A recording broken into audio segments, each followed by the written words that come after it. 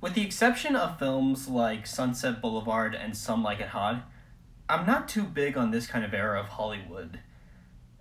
Something about it just doesn't seem to click with me, like as it will with others, but I decided maybe this isn't my kind of taste.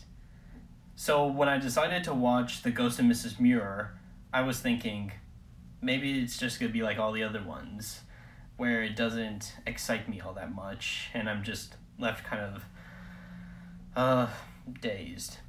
But to my surprise, it was actually pretty solid.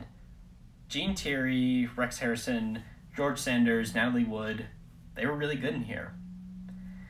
There was also some really pretty lighting.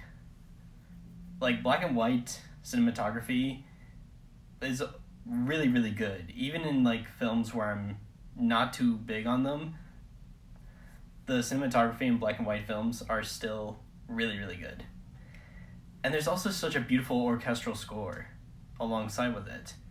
But outside that, it's kind of like your average ghost story and I've seen some other films that kind of handle this genre a lot better, but this film it's not that bad.